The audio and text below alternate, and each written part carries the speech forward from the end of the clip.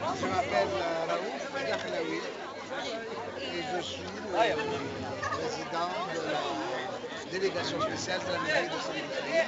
Ce sont les fonctions de euh, quelle est la signification de ce soir-là? Ce soir, d'abord, c'est une, c'est une commémoration religieuse parce que c'est le nouvel an musulman. C'est le réveillon. Comme chez vous, c'est le 31 décembre. Chez nous, c'est les parents, c'est le. Il y a un décalage pour l'année nouvelle, le 11 juin. Donc, c'est la veille de l'an. Euh, le mausolée de Sidi Moussaïd, qui est un des grands patrons du, Grand Tunis, un des quatre grands patrons du Grand Tunis, a été brûlé par euh, des criminels.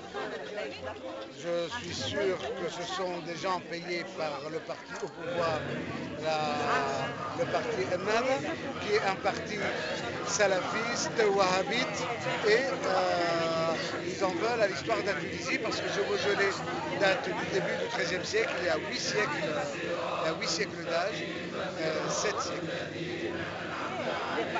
huit siècles d'âge et il représente, euh, c'est autour de lui d'ailleurs que, le- que le village a été créé, il représente, euh, c'est l'hommage rendu à un grand savant, homme de religion, homme de tolérance, homme ouvert, mais surtout, c'était surtout un grand savant, philosophe, astronome. et- Et quel serait l'intérêt de, de, de euh, mausolée, à votre avis? Pour les intégristes, pour les wahhabites, c'est très clair. C'est détruire l'histoire de la Tunisie. Ils ont un problème, ce sont des gens qui ont un problème avec les histoires, avec les pays à histoire. La Tunisie euh, a 3000 ans d'histoire, a 3000 ans d'histoire et euh, ça a commencé, c'est-à-dire l'histoire connue de la Tunisie a commencé vers l'an 1000 avant Jésus-Christ. Donc euh, il s'agit pour eux d'effacer toutes ces traces-là, de faire une histoire uniquement islamique à leur mode à eux. À leur mode à eux, c'est-à-dire déniant euh, tout modernisme, tout, euh, tout droit de la femme, tout droit à la femme, euh, qui sont nos valeurs tunisiennes. Nous, nous défendons notre histoire tunisienne et ce saint parmi les saints de, de ce pays représente l'histoire de notre Tunisie.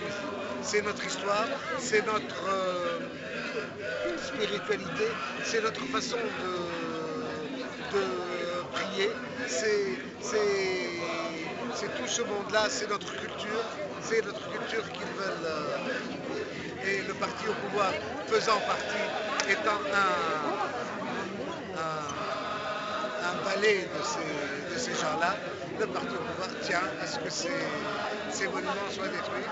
Et nous, ils ont détruit ce monument, nous l'avons construit et il est mieux qu'avant.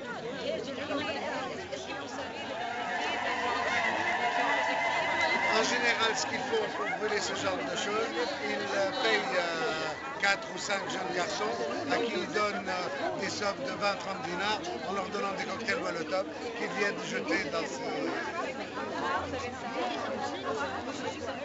Vous savez, il y a plus de 100 mausolées qui ont été brûlés en Tunisie et plus les mausolées qui ont été brûlés ailleurs. D'ailleurs, nous avons une délégation qui est venue de Libye, qui vient de Sidi Abdessalam, qui est un mausolée qui a été brûlé, un grand mausolée très important, qui a été brûlé en Libye.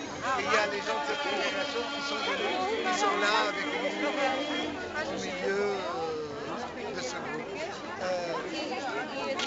À partir de ce moment-là, par rapport encore des attaques, est-ce que vous craignez euh, encore des problèmes ou euh, comment voyez les choses pour du mausolée disons, Comment vous pouvez assurer la sécurité de... Euh, écoutez, il y la municipalité de Sidi Saïd, il y a la société civile, il y a surtout la société civile. Tous les gens que vous voyez là aujourd'hui et qui sont. Et le gros des groupes n'est pas encore arrivé parce que nous avons invité pour 8 heures. Il n'est même pas 7 heures. Nous avons invité pour 8 heures. Le gros, des groupes va arriver. Et c'est ça la société civile qui qui, qui s'est engagée. Et nous, euh, et qui nous a donné les moyens d'engager- d'engager des, nous avons des vigiles euh, pour protéger ce genre de lieu et chacun va protéger. Merci beaucoup, Aïcha. Merci madame.